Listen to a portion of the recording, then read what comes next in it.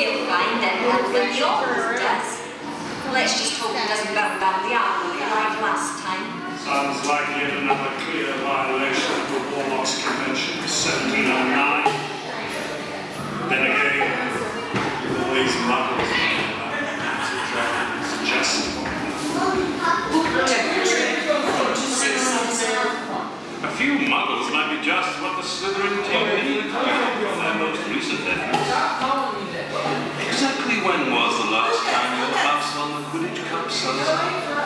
will not dignify that.